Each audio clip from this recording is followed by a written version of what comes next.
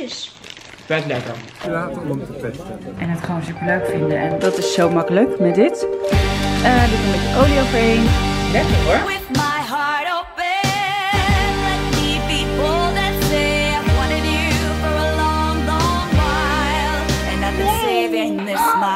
Je kent het vast wel van die dagen dat je denkt van, oh jee, wat moet ik met koken? Kinderen aan je been hangen of misschien ben je gewoon super druk onderweg van je werk naar huis en onderweg denk je, oh ja, ik moet ook nog koken. Echt een stressmomentje, vooral in ieder geval voor mij. Ik heb zoveel mogelijk geprobeerd te filmen deze week wat ik allemaal at. Ja, er moet gewoon echt wel wat gebeuren bij mij als het gaat om koken en om gezond eten. Want ik weet dat voordat ik Jax kreeg, ik veel gezonder at en ook gewoon veel meer plezier had in koken. Dat komt omdat ik toen gewoon veel meer tijd had om te koken. En de laatste tijd is dat er echt wel een beetje bij ingeschoten. Dus wat doe ik nu de laatste tijd? Vaker dingen voor twee dagen koken bijvoorbeeld. En allerlei dat soort dingen ga je voorbij zien komen in deze video. Waarbij ik dus de hele week mijn eten laat zien. Vanavond ga ik voor een receptje die ik tegenkwam bij Marcia. Die had laatst een video geüpload waarbij ze ging food preppen. En toen eh, liet ze zien hoe zij tempeh klaarmaakt. Ik ben heel erg benieuwd of mij dat ook zo gaat lukken. En of wij het lekker vinden. Dan dinsdag en woensdag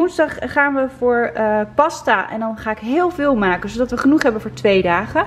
Want woensdag moet ik namelijk op Schiphol werken. En dan kom ik eh, wat later thuis. Dus dan heb ik echt geen zin meer om te koken. Dus dan hoop ik dat ik dat kan samenvoegen. Soms eten we zoveel dat ik dan weer niet genoeg heb voor de volgende dag. Maar dan maken we meestal een, een eh, soepje erbij. Donderdag ga ik lasagnette maken. En vrijdag ga ik de falafel maken die in het boek staat van Kim, in dit boek. Oké, hier is dus mijn hele lijstje met wat ik allemaal nodig heb. Maar, nou zie ik ook weer dat de overgroente in aanbieding is. En dat is wel heel erg handig. Dat kan ik in plaats van, of bij. Ja, dat kan ik er gewoon bij doen, bij die andere. Ja, dat ga ik doen.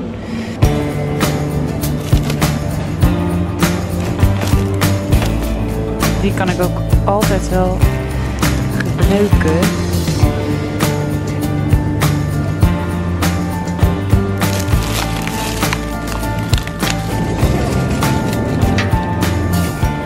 Deze voor Jax en appelmoes.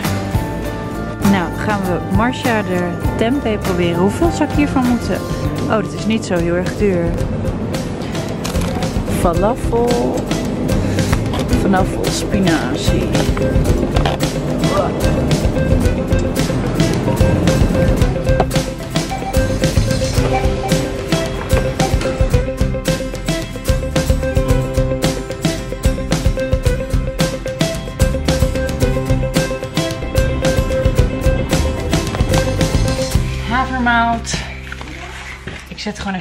Keuken. Oh, even een olijf er tussendoor. Ik heb dus vandaag al veel te weinig gegeten. Vanochtend brood. Vanmiddag een paar liga's. Een koffie gedronken. Colaatje gedronken.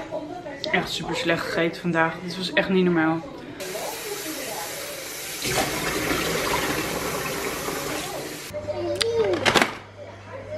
Vind je lekker hè? Ik heb deze even afgespoeld. Erin gegooid. Dat is zo makkelijk met dit. Eh doe ik een beetje olie overheen. Een beetje kruiden. En dan gaat hij in de oven. Is deze. Nemen wij. Ja. Eroverheen hè. Dan ga ik dus deze twee snijden. Bakken. En dan gaat dit er overheen. Nou,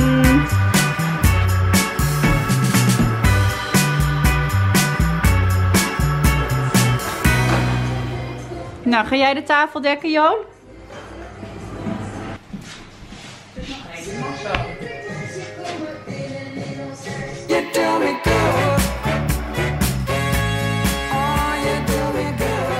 Ik vind het lekker. Taupé. Het was wel lekker. De taupe was lekker. Maar helaas, de zoete aardappel was nog niet helemaal gaar. Dus die hebben we eruit gevist. Nou. Hm? Ja, meningen verschillen. Maar ik heb het nu even over mijn mening. Toetje, guilty pleasure. Zacht en luchtig, luchtig toetje. Bijna.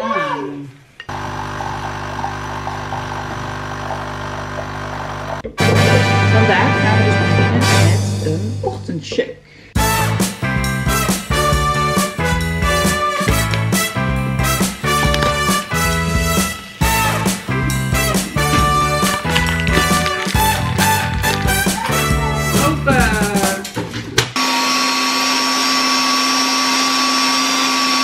Lekker hoor.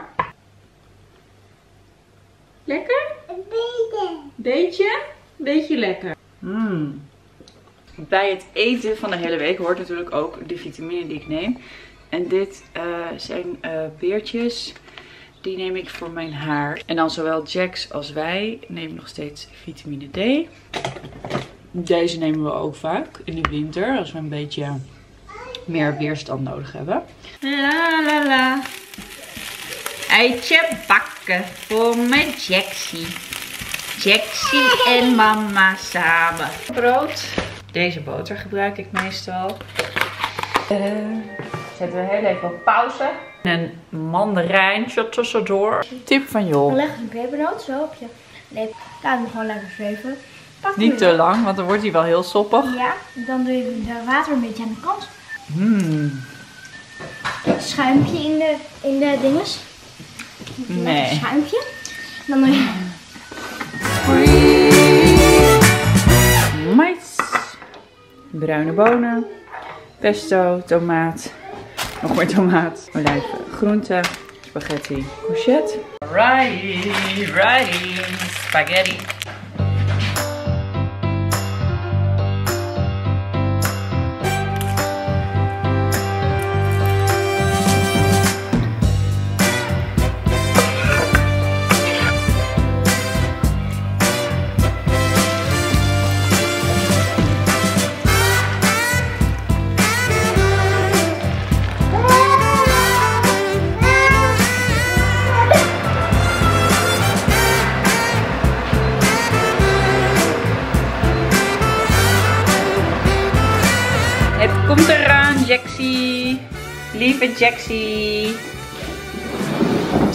Eet smakelijk. De reden dat ik dit maak is dit. Dat gaat er allemaal in bij deze man. En dat is wat we willen. Deze man zijn buiten vullen. Goed hoor. Ja, al lang hoor. Ja, kijk. De laatste restjes staan op tafel. Hallo, hallo. Hallo. Hallo, lief allemaal. Goedemorgen. Het is half zes. Het is echt half zes, ja. I'm really doing this. Shake die ik gisteren had klaargemaakt. En koffie. Die had ik gisteren dus voor twee dagen gemaakt, die shake.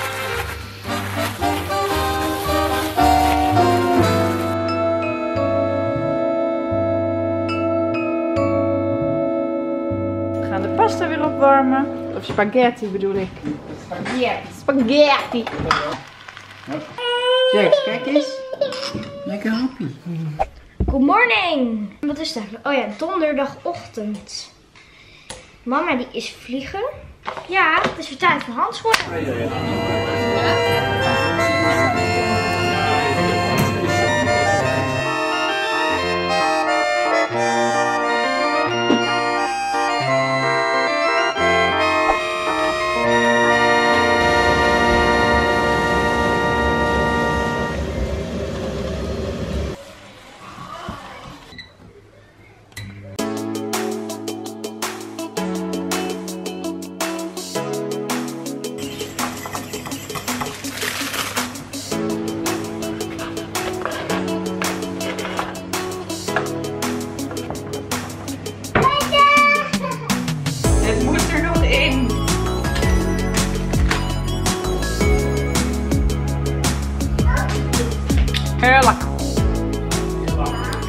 smullen. Zo. Ik vergeet helemaal mijn ontbijt te filmen van deze dag. En je mannetje. Eh, we zitten lekker samen eventjes te ontbijten. Heerlijk. En te praten over eh, belangrijke keuzes. Allemaal wel evaluaties. Ja, dus ik heb nu al twee eh, broodjes op. Ook wel eens goed. Met kaas. normaal gesproken dan eten we snel. Ja. En dan gaan we aan het werk. Ja. En nu nemen we even de tijd even te praten. Gewoon even. Ja, staat is wel het varkentje hier trouwens? Dat is een vegetarisch, schat. Vegetariër. Ja, we hadden het er net over dat we eigenlijk al twee dagen bijna niet gepraat hebben met elkaar. Nou ja, wel gepraat, maar niet echt eh, over belangrijke zaken. Waarom sta ik hier allemaal in beeld? Omdat zo je, je arm eh, minder groot lijkt. Oké. Zo. We willen niet eh, dat mensen onzeker worden, schat. Dus even die arm een beetje uit beeld. Goed zo. ja jongens, dat is gewoon mijn fan. I've got that Friday feeling. I've got that Friday feeling. I've got that Friday feeling. I've got that, got that Friday feeling. De presentatie is al half werk. Ja. Scheelt echt heel veel te maken. Nou, eet smakelijk. Ja, ik ga deze pakken. Banaantje gegeten vanochtend. Pistoletjes gegeten zaterdagochtend. En dat was het eigenlijk. Dus ik denk dat we zo nog ergens wat gaan eten. Ik heb wel trek. Ja, we kunnen daar wel even doorheen gaan. Klinkt wel heel geheimzinnig. Dank je. Alsjeblieft. Lekker. De bedoeling was dat we even lekker gingen wokken. Wokken, wokken. Eh, maar het was heel erg druk bij het wokken. Maar hier ook. Bij, nou, het is Ja, niet heel gek, hè, om het is een zes uur. soort- Heel gek, druk, ja. Het is restaurant ook. tussen alle winkels die om 6 uur dicht gaan. Maar goed, eh, nou ja, de, eh, we staan nu bij de McDonald's. Ik eh, neem deze. De Veggie Homestyle Crispy Chicken.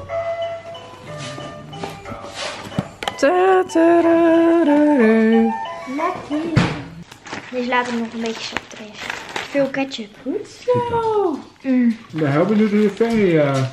Ja, maar deze heb ik volgens mij al eerder gegeten. Mmm, Mm, lekker uitjes. vet lekker.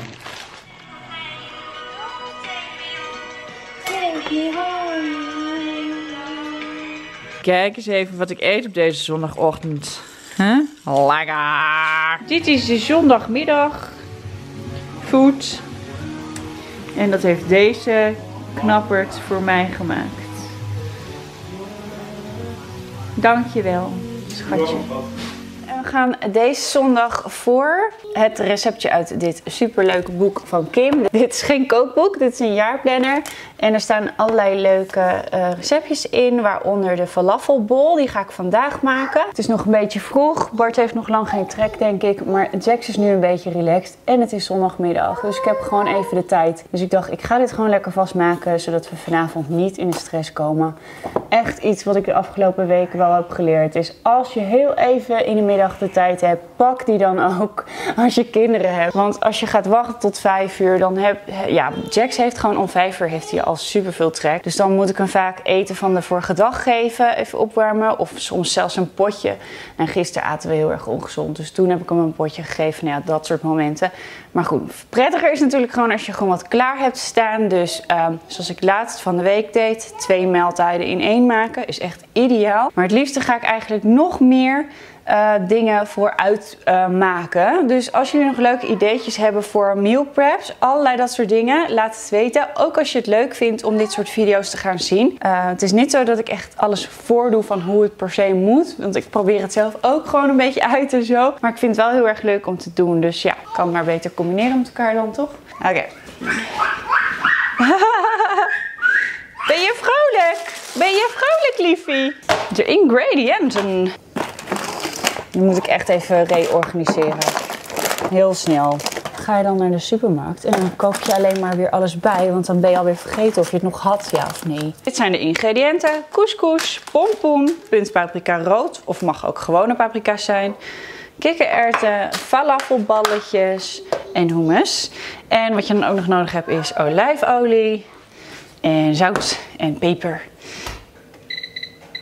Oké, die staat op voorverwarmen. Oh, de courgette vergeet ik nog. Nou, wat raar. Als iemand van courgette houdt en, en het altijd koopt, ben ik het. Waarschijnlijk heb, heb ik het ergens anders doorheen gepakken van de week. Ja, dat is dus het nadeel van de hele week boodschappen doen.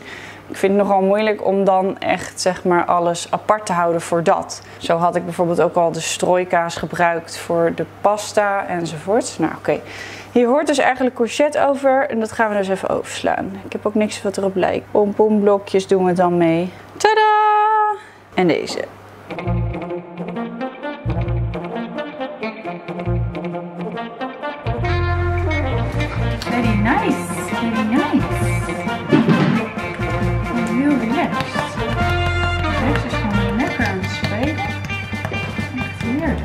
Oké, dat zit in de oven. En dan nu de couscous. Ik maak falafel couscous met pompoen en paprika. Oké, dit is echt gordisna. Ik heb dus net eh, de falafel erbij gedaan en in de oven gedaan, dacht ik. Maar ik had ook nog twee pakjes met eh, vega gehaktballetjes. Vega gehakt. Vega balletjes in de koelkast liggen. En die heb ik dus gebruikt in plaats van de falafel. Ik hoop dat dat ook lekker gaat worden, vast wel. En anders dan maak ik het van de week nog een keer. Want het is wel super makkelijk. Het is echt maar 10 minuutjes of zo. Dus het is echt ideaal eten. Dit soort dingen tegenkomen in de keuken als je aan het koken bent. Dit is Bart's favoriet. Dit is mijn favoriet. Ik hou niet eens van Bounty.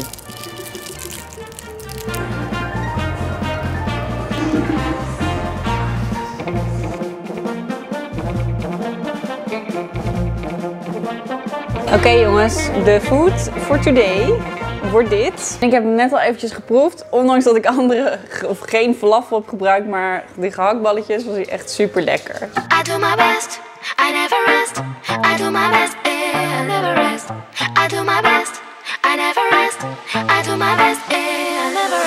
Zo jongens, ik hoop dat jullie deze video leuk vonden om te zien. Ik ben heel erg benieuwd, want wat ik nou de komende maand ga doen, dat is verschillende video's uploaden. En degene, de video's die de meeste duimpjes omhoog krijgen, daar ga ik er wat meer van maken in het nieuwe jaar. Dus laat zeker weten met je duimpje of jij dit soort video's eh, wilt zien. In ieder geval hartstikke bedankt voor het kijken. Doei doei!